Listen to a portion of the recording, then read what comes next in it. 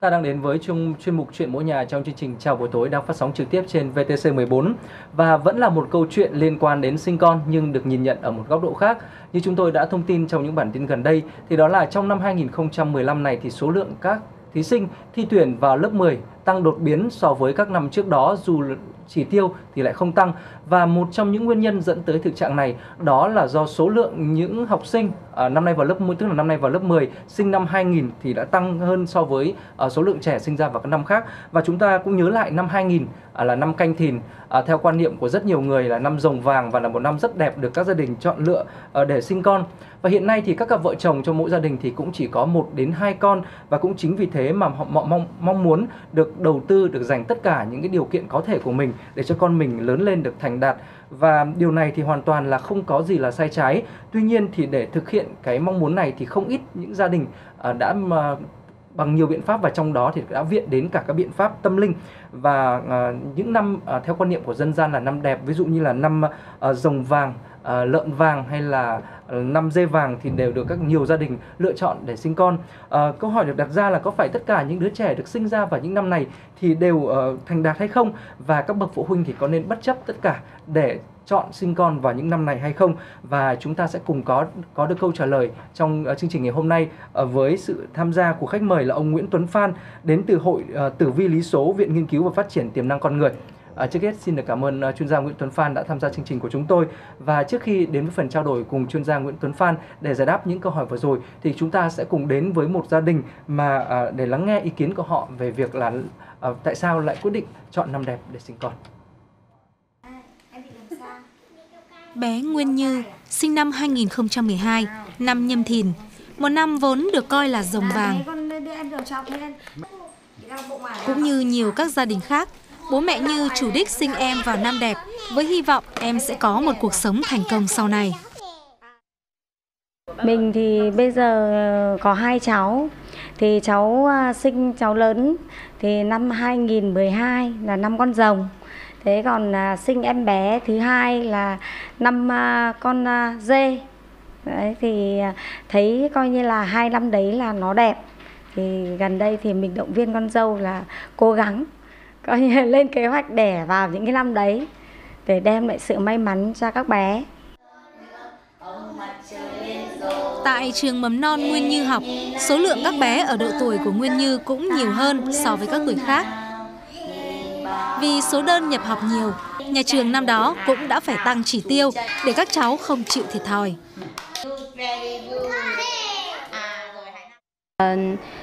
theo kinh nghiệm của bản thân ý, thì à, những cái bạn mà sinh vào những năm đẹp thì thường là có số lượng gia tăng hơi đột biến một chút. Vừa rồi thì là khi mà cái các bạn sinh vào cái năm rồng là năm 2012 ấy, các bạn tròn 2 tuổi thì cái lớp 2 3 tuổi đấy là tăng đột biến khiến cho là nhà trường phải mở thêm một lớp để dành cho cái lứa tuổi đấy nữa. Theo số liệu thống kê của Tổng cục Dân số, tỷ lệ sinh năm 2012 tăng 1,06% so với năm 2011. Điều này sẽ kéo theo đó rất nhiều các vấn đề về xã hội.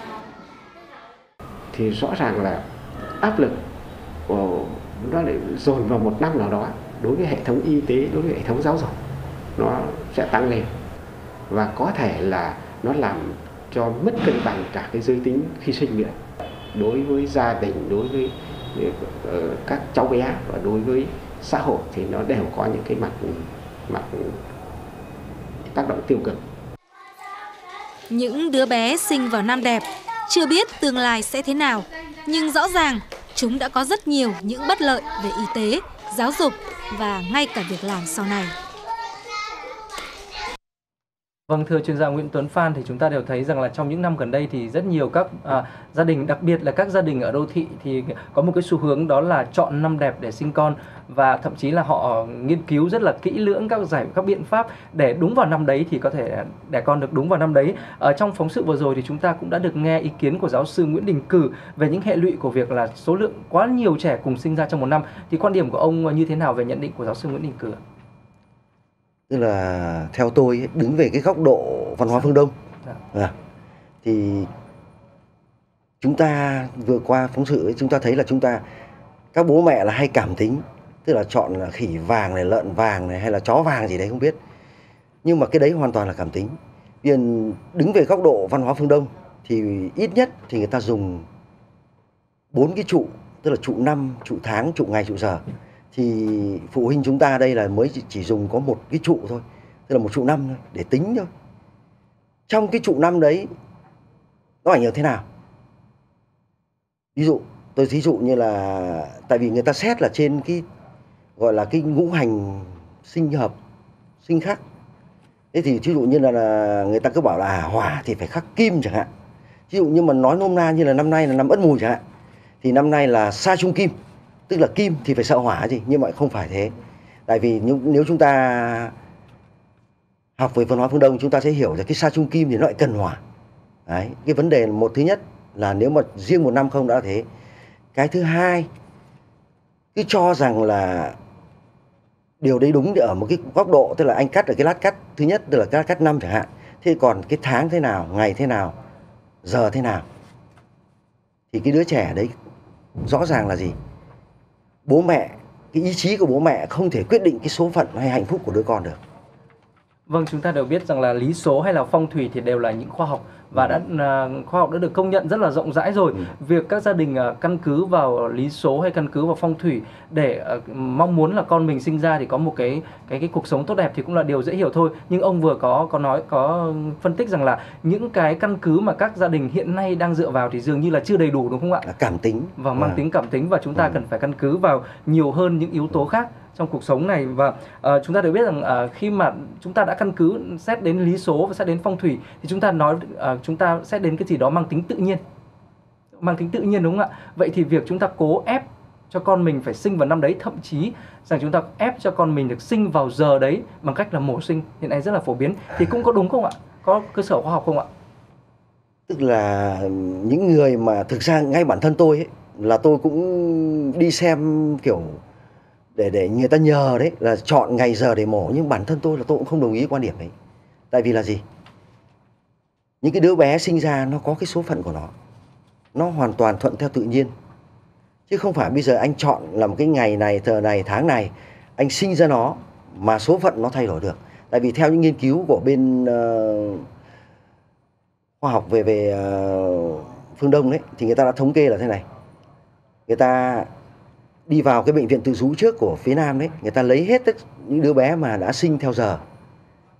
Và bây giờ chúng nó cũng là cũng phải mấy chục tuổi rồi người ta mới đi tìm lại người ta phỏng vấn lại thì thấy đến 70% là sai chỉ có 30% mà cái 30% đấy nó cũng là ngẫu nhiên thôi chứ không phải là là cái yếu tố chắc chắn được như vậy là từ góc độ là một chuyên gia nghiên cứu về uh, tử vi là uh, thì ông cũng thấy rằng là những cái yếu tố mang uh, như chúng ta vừa đề cập ví dụ như là năm sinh giờ sinh thì cũng chỉ là mang một phần yếu tố để tham khảo thôi đúng không ạ? Wow. Mà nó còn quyết định bởi nhiều những yếu tố khác. Ừ.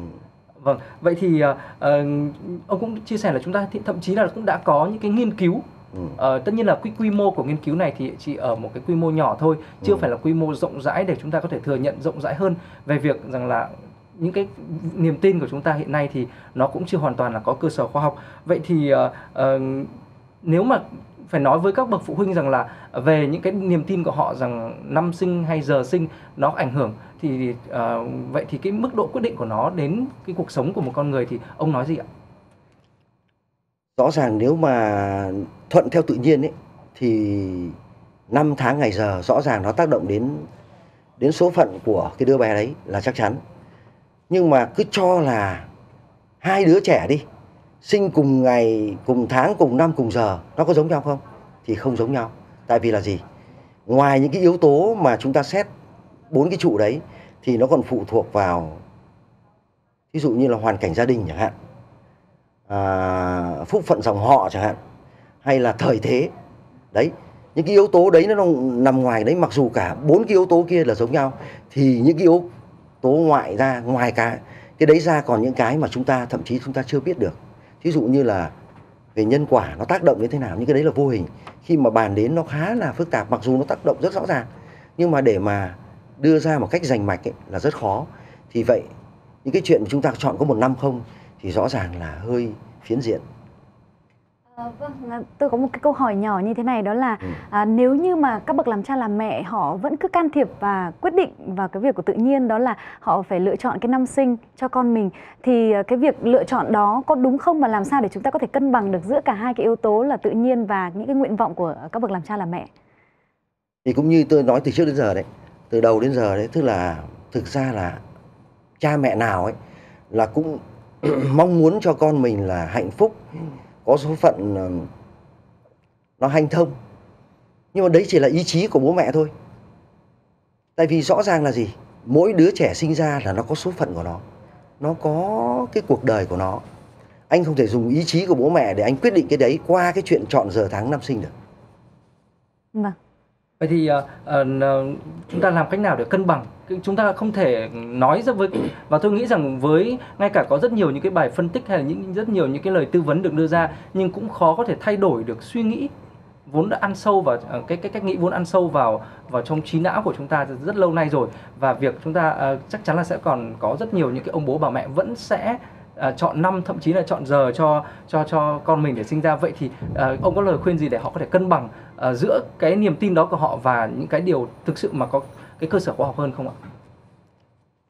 theo tôi là thế này. Tức là cái gì thuận theo tự nhiên ấy thì là nó trường tồn và nó nó đúng với cái lẽ tự nhiên hơn. Chứ chúng ta mà cố tình áp đặt cái ý chí của chúng ta vào ấy thì chúng ta chống lại cái tự nhiên đấy là không nên. Chứ còn bố mẹ anh muốn tác động đến tất nhiên đấy là ý chí của anh. Nhưng mà cũng không thay đổi được. Liệu có trong trường hợp nào đó nó sẽ mang lại một cái tác động tiêu cực hơn, tiêu cực đi ngược lại với cái suy nghĩ thông thường của chúng ta không ạ? rõ ràng là có. Tôi nói đơn giản là thế này. Bây giờ thí dụ đúng ngày đúng giờ đúng tháng là giờ này nó mới sinh chẳng hạn. Bây giờ anh lại chọn ngày chọn giờ. Anh mổ sớm đi. Rõ ràng là cái thai nhi đấy rõ ràng là nó chưa đúng ngày đúng tháng. Thì nó sẽ yếu hơn đúng đúng giờ ra. Đấy nó đứng đấy, đấy là về mặt gọi là sinh học thôi chứ còn chưa nói những cái chuyện khác nữa. Vâng, chúng ta vẫn nói rằng là có sức khỏe thì có tất cả và sức khỏe thì cũng là cái tiền đề của chúng ta có thể thực hiện được rất nhiều những việc khác. Và có thể là những cái đứa trẻ như à, ông có vừa chia sẻ là khi mà được sinh ra khi chưa đủ ngày đủ tháng có thể là cái sức khỏe của nó về lâu về dài nó cũng không phát triển một cách bình thường hoàn ờ, cân đối như là những đứa trẻ được sinh ra theo tự nhiên đúng không ạ? Vâng một lần nữa thì rất là cảm ơn những chia sẻ và những tư vấn của ông ờ, cho các ờ, quý vị khán giả.